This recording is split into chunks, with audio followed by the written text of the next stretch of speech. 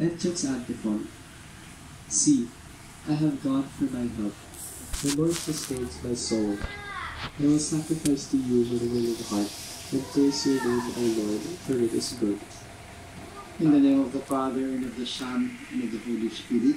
Amen. The Lord be with you. And with your spirit. My dear brothers and sisters, to prepare ourselves to celebrate the sacred mysteries, let us call to mind our saints and ask the Lord for pardon and strength.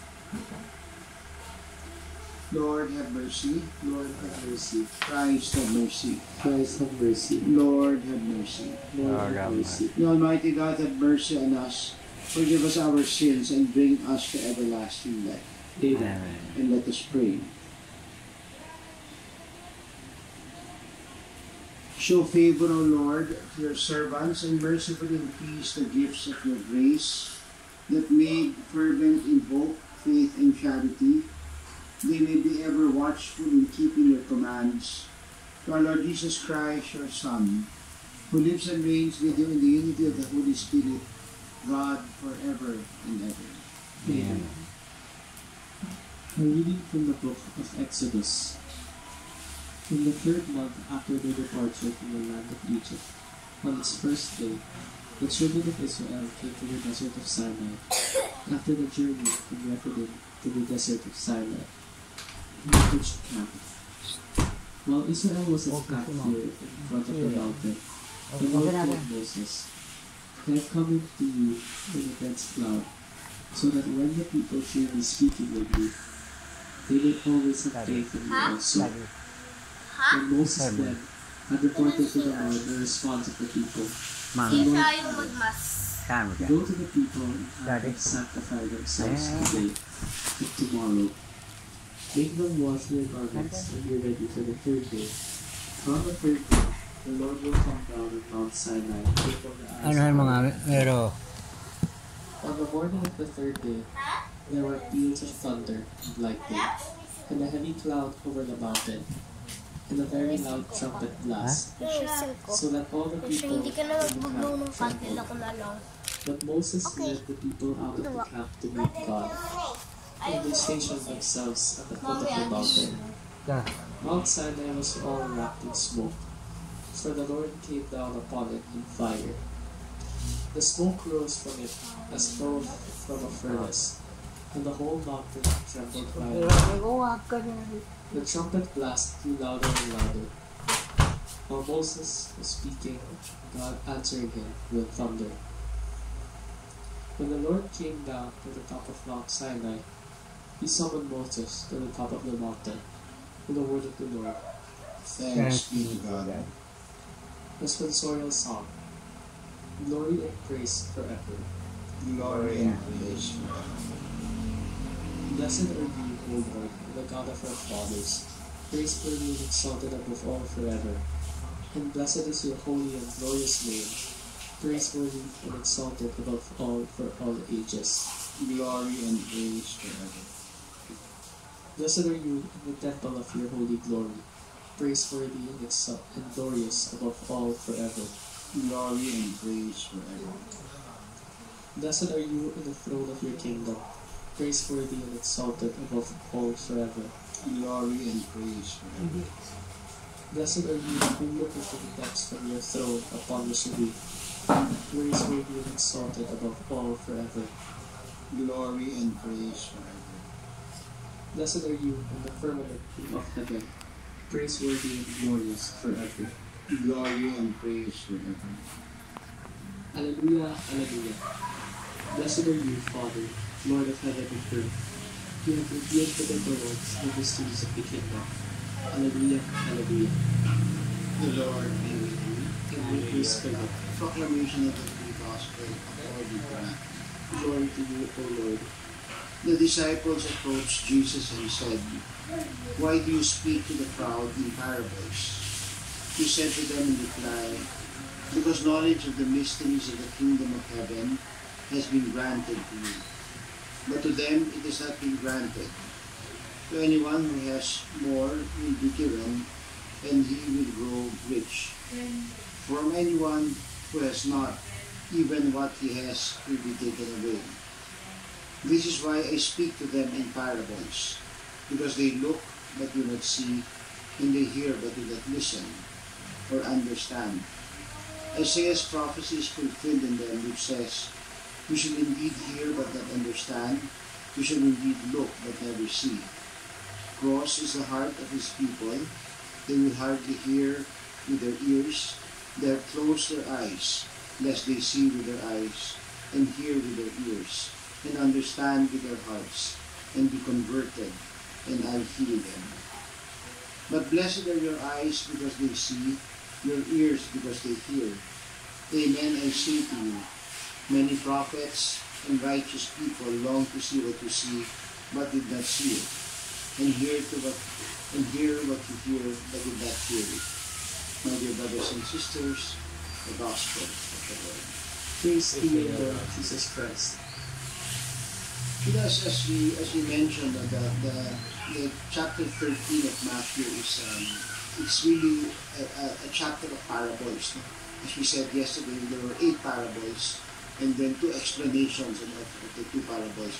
And then here you have you have uh, almost like a, a break, so to speak, of Christ explaining the purpose of the parables, and because he was asked, why do you speak to them in parables? Of course, parables are no, parables are stories. No? And uh, very often, the, the, the general, you might say, rule or pattern of a parable is that it always uses familiar images, uh, things that are familiar to the audience. No? And then, and then number two is, more often than not, no, a parable is a very, a very single, ano, single lesson. No?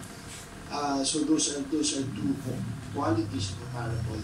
And I guess when, when you look at it, even up to now, no, when, when people give talks, when people give homilies, you know, the power of the story, the power of the narrative is very important. And so that's the first point that I'd like to invite you to reflect on, the power of stories and narratives in our life. And then second is, um, what is what is also the effect no, of, a, of a good narrative, of a good story. No? So this is second point that we will reflect on. And then the third and last point that I invite you to reflect on is what the Lord says us at the end of the gospel, he said, Blessed are you, blessed are you, blessed are we. So it's the third point that we reflect on. First about, about the, the power of the narrative. No? Uh, of course, you know, we, we've always heard that, that uh, line that, you know, that the gospel is the greatest story that has been that has been ever told. No? And um, and if you take a look at it, the gospel really is the story of the journey of the early church, of the apostles, and the, the journey of faith.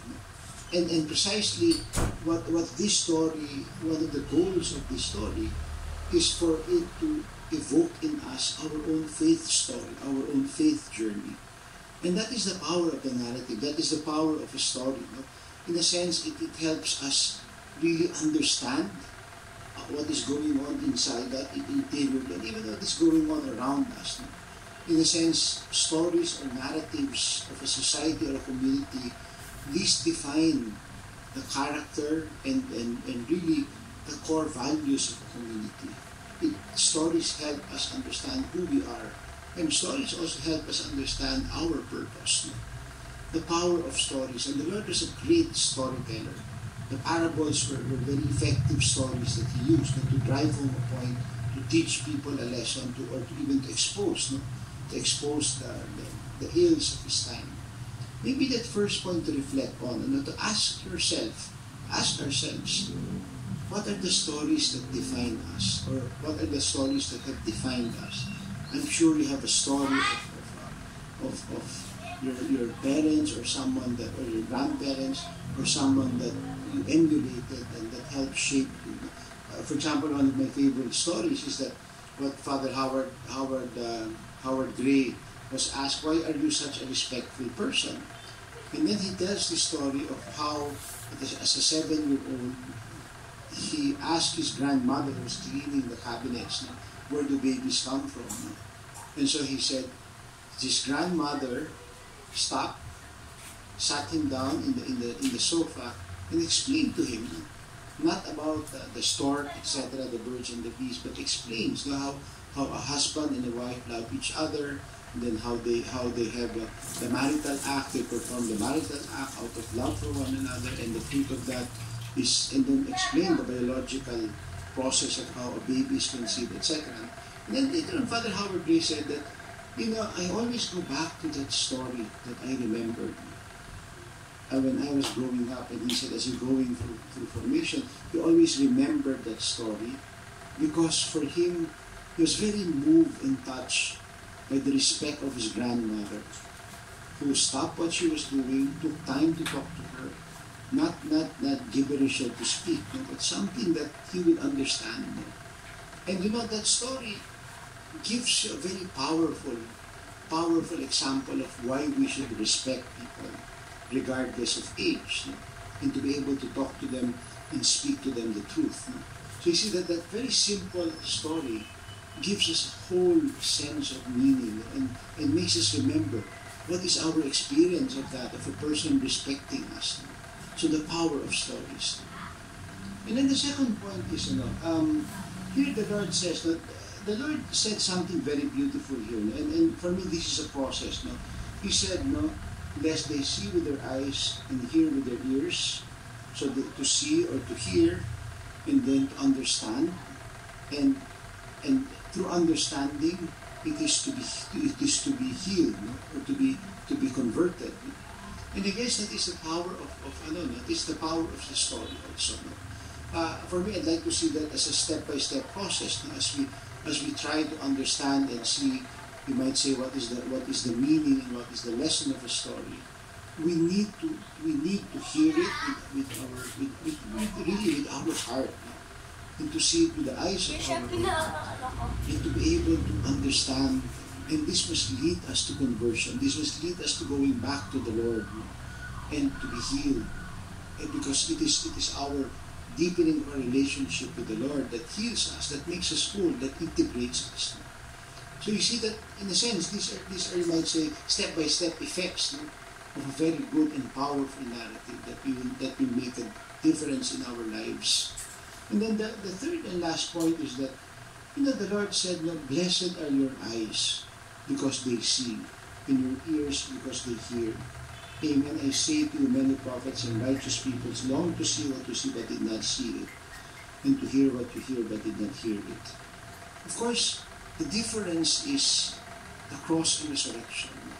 Because the cross and resurrection is what really, in a sense, opens the, the entire revelation of God. And we hear that final revelation of God. Remember that that, that, that, that that line, This is my beloved Son in whom I am well pleased. Listen to Him. And we listen to Him in the mystery of the cross and resurrection. That is why we are blessed. Blessed are you who see, blessed are you who hear, because we have been given the gift of the cross and resurrection. So siguro yung araw siguro, magandang pagnilaya natin. No? Yung kahalagahan itong sabi nga, di ba, ang mga parable ay mga kwento. No? Ito yung mga kwento na meron isang malinaw na turo o aral na binibigay sa atin. At ito ay gumagamit ng mga imahe na pamilyar sa mga tao. At ito yung ano, ito yung masasabi natin, isang katangian ng magandang kwento. Kasi ang kwento ang siyang nag, ano, ang, ang pumupukaw, ano? Pag merong magandang kwento, di ba meron yung pinupukaw na kwento sa ating sariling karanasan. Ano? Kagaya ng binahagi ko na si Father Howard Gray na bilang isang maliit na bata, itong taon, ano, naramdaman niya yung respeto ng nanay niya sa kanya. No? Kasi tinanong siya, bakit napaka, napakagalang ng tao? No? At kinuwento niya, no? kasi nung bata ako, ginalang ako ng aking lola. Pinunto na yung ginagawa kasi tinanong ko paano nagkakaroon ng mga baby. At pinaliwanag sa akin na hindi yung parang mga fairy tale na paliwanag, hindi talagang ano ba ang nangyayari no, sa mag-asawa, at kung paano nabubuntis at pinapanganak. Ano? Makita mo yung kwento na yun, ang siyang nag, ano, no, maganda yung, maganda yung kanyang higit na pagpapalalim ng pagpapaunawa ng kahulugan ng paggalang sa tao dahil sa isang kwento. Kaya siguro, di ba, isipin natin, ano nga ba itong mga kwentong ito sa aking buhay na naghugis o naghubog sa aking pagkatao. Yun yung kahalagahan ng mga kwento. At siguro mahalaga na makita rin natin, di ba, sa isang mahusay na kwento kagaya ng Ebanghelyo, sabi nga ng Panginoon, di ba, makinig na, marinig natin at makita natin yung aral o yung kwento at dahil dito maunawaan natin ang nais nais, nais, nais na ihatid sa atin na mensahe. At ito ay dapat ay laging nagdadala sa ating pagbabalik loob at paghilom ng ating pagkatao, ng ating, ng ating espiritu. At yung huling punto nga na sinabi ng Panginoon sa Ebanghelyo, ay sabi niya, mapapalad kayo. Sapagkat ito ay, ito ang nakikita ninyo at ang naririnig ninyo, ay, ay ito ang ito ang dinais ng mga propeta pero hindi nila naranasan. At para sa atin lalo na, no? Kasi nakita na natin, narinig natin ang krus at muling pagkabuhay na siyang pinaka, masasabi natin, pinakahuli at pinakabuong pagbubunyag ng Diyos sa atin ng kanyang pagmamahal. Siguro ngayong araw, hilingin natin ano, na, na sana nga ay mapalalim natin ang pag-unawa natin sa sariling mga kwento ng ating buhay. Let us ask the Lord to help us really understand no, what are the narratives that define us and to be able to grow from understanding these narratives into realizing also our own story, our own journey in following Christ.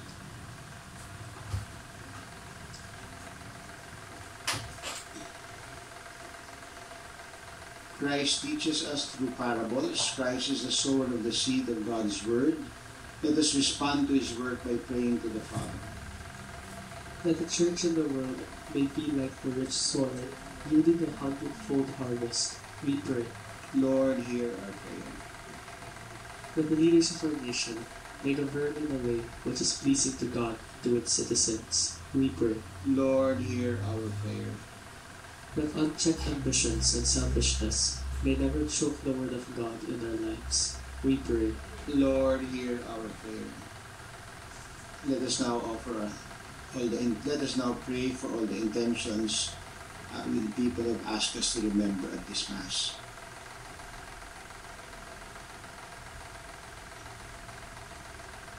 For all this we pray. Lord, hear our prayer.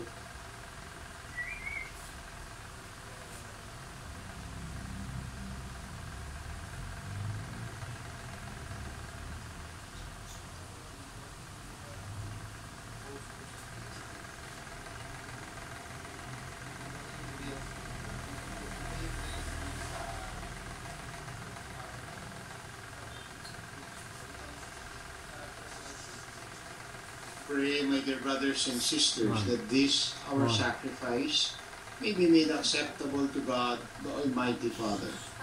May the Lord accept the sacrifice at your hands for the praise and glory of His name, for our good and the good of all His holy church. O God, who in the one perfect sacrifice brought to completion varied offerings of the law, accept, we pray, this sacrifice from your faithful servants, and make it holy as you bless the gifts of Abel, so that what each has offered to the honor of your majesty may benefit the, the salvation of all through Christ our Lord. Amen. The Lord be with you. And with your spirit, Lift up your hearts. we lift them up to the Lord. Let us give thanks to the Lord our God. It is right and just. It is truly right and just, our duty and our salvation, always and everywhere to give you thanks, Lord Holy Father, Almighty and eternal God, through Christ our Lord. With love we celebrate His death. With living faith we proclaim His resurrection.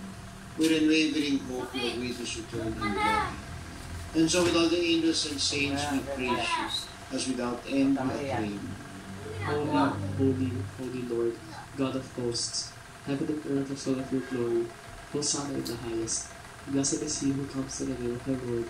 Hosanna in the highest. You are indeed holy, O Lord, the fount of all holiness.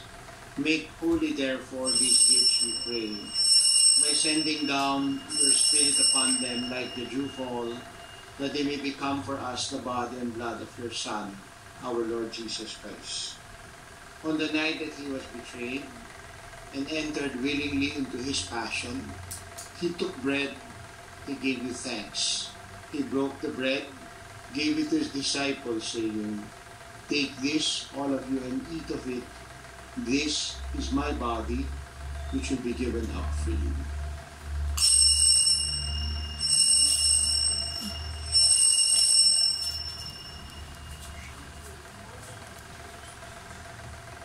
In a similar way, when supper was ended, he took the chalice, Again he gave the thanks and praise. He gave the chalice to his disciples, saying, Take this, all of you, and drink from it. This is the chalice of my blood, the blood of the new and everlasting covenant. It will be shed for you and for all for the forgiveness of sins.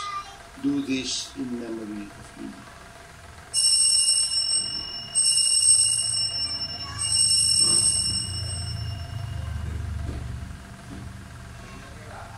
The mystery of faith. We proclaim your death, O Lord, and confess your resurrection until you come again. Therefore, as we celebrate the memorial of his death and resurrection, we offer you, Lord, this life-giving bread, this saving cup.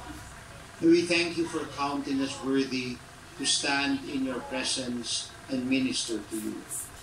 Humbly we pray that partaking of the body and blood of Christ, we may be gathered into one by the Holy Spirit. Remember, Lord, your church spread throughout the world, and bring her to the fullness of charity, together with Francis, our Pope, Honesto, our Bishop, the clergy, the entire people your Son has gained for you. Accept, Father Most Holy, all the intentions commended to our prayers at this Mass. Remember also our brothers and sisters who have fallen asleep in the hope of the resurrection, and all who have died in your mercy. Welcome them, Lord, into the light of your face.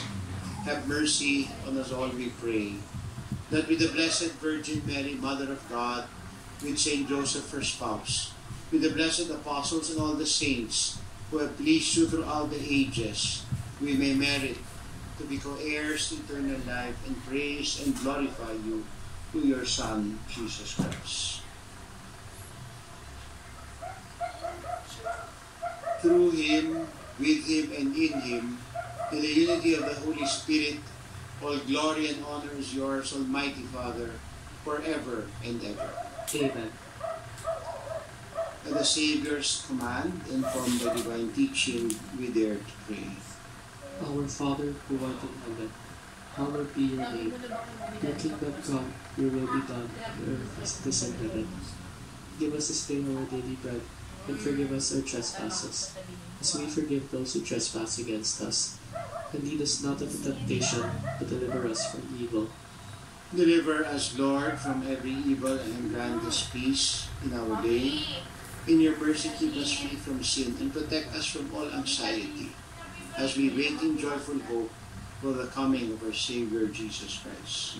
For the kingdom, the power, and the glory are yours now and forever. Lord Jesus Christ, who said to your apostles, I leave you peace, my peace I give you.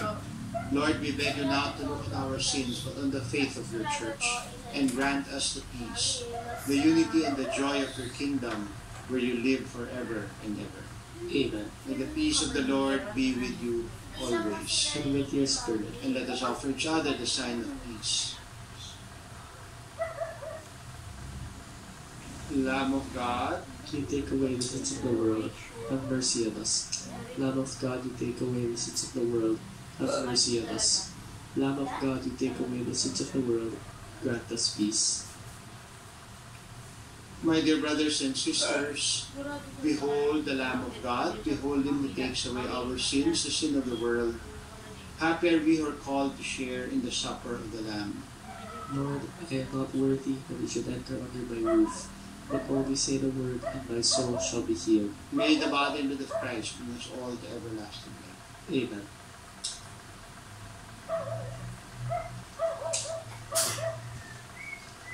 My Jesus, I believe that you are present in the most holy sacrament.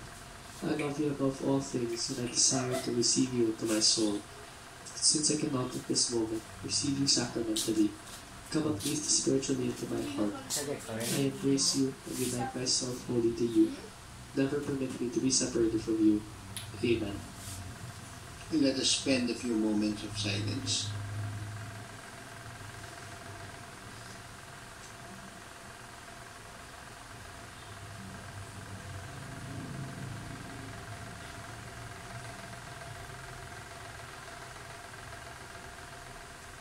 Together now let us offer our prayer of humble faith and hope. Merciful and compassionate Father, we humbly come before you in faith and hope. Grant us your grace and guidance as we emerge from this pandemic. We thank you for the blessings that saw us through the challenges of the past years. Reward those who selflessly served and continue to serve our many needs. Console those who suffered. Heal the sick. Grant eternal rest to those who died. May we draw inspiration from our collective and individual experiences. Let our hearts burn within us to build a world closer to a kingdom of justice, truth, equality, peace, joy, faith, hope, compassion, and love. May each of us be a bright candle to remind us that light will overcome darkness and never the other way around. We pray for our nation. Give us the courage and inspiration to relentlessly take part in the project of building the nation that our founding fathers envisioned over a century ago, into which succeeding generations offered their lives in dedicated service, some to the point of martyrdom. Heroes also Filipinos may continue to work for freedom and someday truly be free. Grant all these our Lord Jesus Christ, your Son, who lives and reigns with you, in the unity of the Holy Spirit, God forever and ever. Amen. Our Lady of the Immaculate Conception, Patroness of the Philippines. Pray for us. Our Lady of all Christians and help of the sick. Pray for us. Our Lady of Fatima. Pray for us. Saint Joseph. Pray for us. Saint Raphael the Archangel. Pray for us. Saint Roch. Pray for us. Saint Lorenzo Ruiz. Pray for us. Saint Pedro Calungsod. Pray for us. Most Sacred Heart of Jesus. Have mercy on us. Santo Niño de Cebu. Have mercy on us. Divine Mercy. Have mercy on us. And let us pray.